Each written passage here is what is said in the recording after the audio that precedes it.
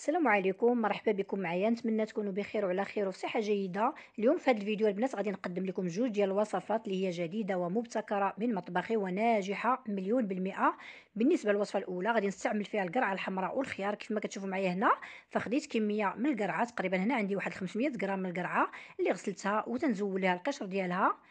بطبيعة الحال البنات اللي عجبكم هذا الفيديو ما تساونيش من لي لايك ديالكم تعليقاتكم وكذلك ما تنساوش تتابعوني على الانستغرام غنخلي لكم الرابط ديال الصفحة ديالي أسفل هذا الفيديو. والناس اللي كيزوروا القناة لأول مرة ما تنساوش تشاركوا معايا في القناة وتفعلوا الجرس باش توصلوا بكل جديد. بالنسبة للقعره بعد ما غسلتها مزيان وضعتها في الطنجره غادي نضيف ليها واحد الكاس ديال الزبيب كاس صغير غسلته مزيان.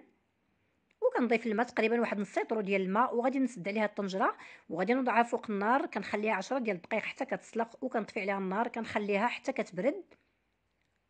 هنا بعد ما بردات القرعة مع الزبيب هنا كيف ما كتشوفوا معايا خديت جوج خيارات اللي نقيتهم وزولت لهم الزريعة ديالهم. عندي بشر ليمونة حامضة وعندي ثلاثة ديال الليمونات آه، برتقال أو المندرين اللي حتى هما قشرتهم. كناخذ جميع المكونات وغادي نوضعهم في خلاط كهربائي.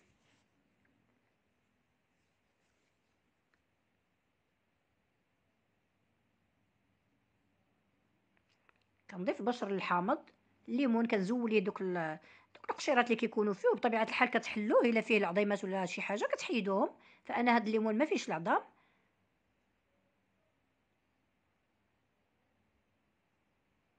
تنزول ليه دوك الخيوط اللي تيكونوا فيه في الوسط. ثم كناخذ الخيار كنقطعو. والكمية البنات راه كتبقى على حسب المتوفر غير هي دائما كنغلبوا القرعة على الخيار.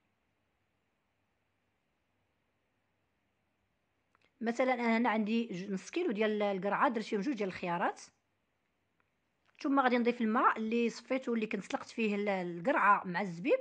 كنضيفو وكنسد الخلاط الكهربائي وكنطحن مزيان الخليط حتى كنحصلوا على واحد الخليط اللي كيكون متجانس. كيف ما كتشوفوا معايا البنات اللون ديالو كيجي رائع جدا. وكذلك لا تيكستور ديالو كيف ما راه تشوفوا معايا. بطبيعه الحال نتوما إلا جاكم هكا ثقيل ما عليكم إلا تضيفوا الماء ولا تضيفوا عصير البرتقال فكيجي هذا العصير البنات روعة روعة شي حاجة طوب ديال العصير أو العصائر. فكيجي رائع جدا. وهذا هو الشكل ديال العصير بعد ما آه، قدمناه. فنتمنى هاد الفكرة هذه تنال الإعجاب ديالكم وتنال الاستحسان ديالكم. فأنا دائما تنقلب لكم على الجديد وعلى الوصفات الجديدة والمبتكرة واللي كتكون ناجحة. ودابا البنات غادي نمروا باش نوجدوا واحد واحد الكيك بحال البراوني اللي كتجي واعرة جدا. غادي ناخذ جوج ديال البيضات. بسم الله.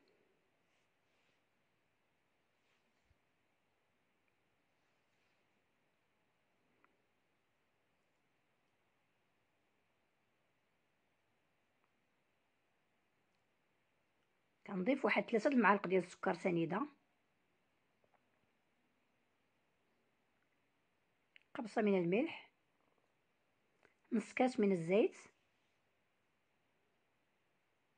كاس ديال الحليب. وكنطرب المكونات كاملة مع بعضياتها. فأسهل طريقة هذه اللي كنوجدوا بها الكيك وكنحصلوا على دي كيك اللي كيجيو رائعين جدا.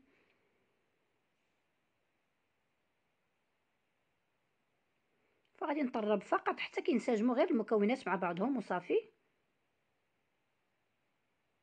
غادي نضيف واحد ما يعادل واحد المعلقة صغيرة ديال الخل.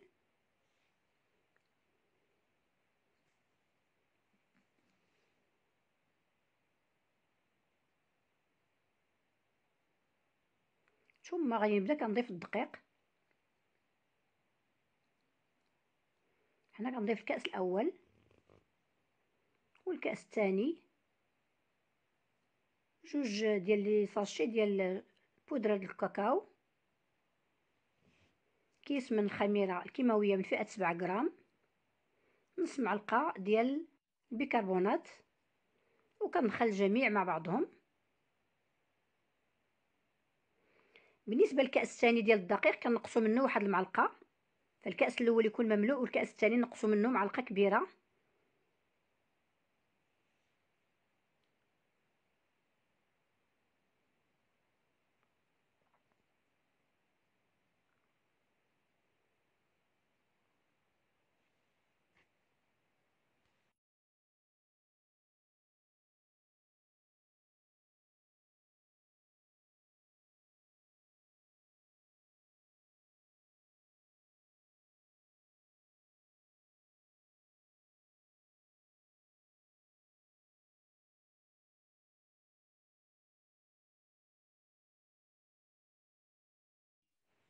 كنحصلوا على خليط اللي هو على هذا الشكل.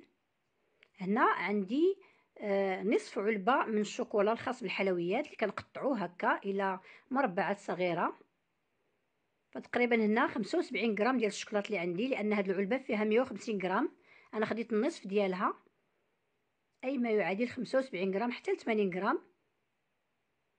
وبالنسبة للكمية ديال الشوكولا راه ممكن تضيفوا إلى عندكم أكثر أو لا أقل كيبقى لكم الاختيار.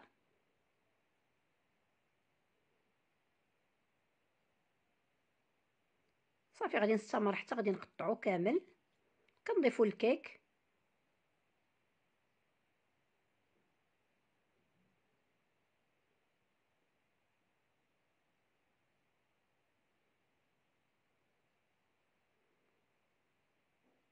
وتندخلو في الخليط.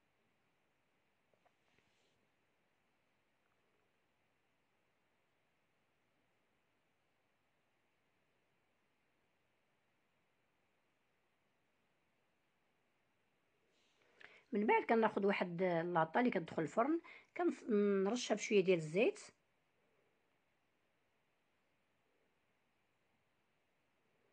ثم كنفرش ليها ورق بابي سولفوريزي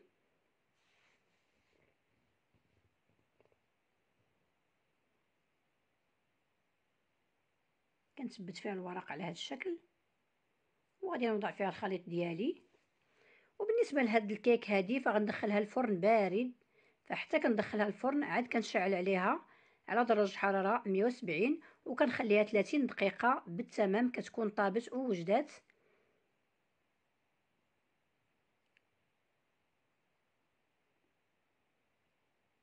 صافي كنبسطها بالسباتول. كما كتشوفوا معايا العجين راه ماشي خفيف وماشي ثقيل بزاف.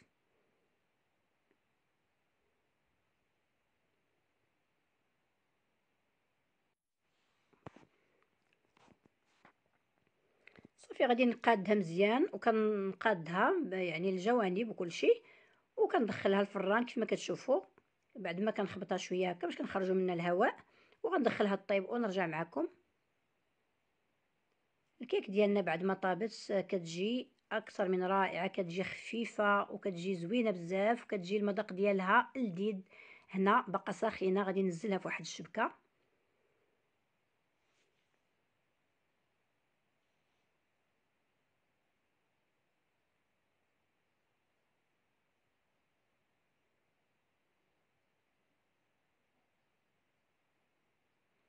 كنزول ليها الورق ديال اللي فرشت ليها. وغادي نخليها حتى كتبرد وكنقطعها إلى مربعات اللي كتكون متساوية.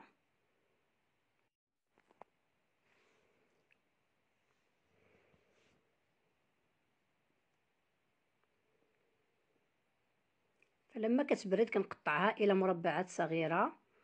وبالنسبة لهاد الكيك هذه فعطاتني 24 قطعة اللي من الحجم اللي هو متوسط غادي تشوفوه معايا.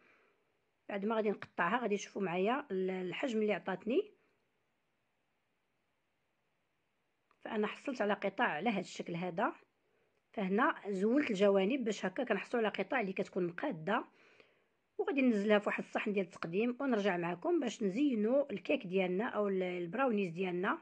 فهو كيجي moelleux كتجي زوينة بزاف بحال إلا كتاكلوا البراونيز زوينة بزاف. واقتصادية ما فيها لا زبدة لا قوة الأنواع ديال الشوكولا والنتيجة رائعة جدا. أنا أكيد البنات إلا جربتوها غادي تنال الإعجاب ديالكم. كنرشها بشويه ديال السكر الثقيل. وتنقدموها بالصحة والراحة. فنتمنى الوصفة اليوم تنال الإعجاب ديالكم. وإلا عجبتكم البنات مرة أخرى ما تنساونيش من لي لايك ديالكم ومن التعليقات ديالكم الجميلة والرائعة.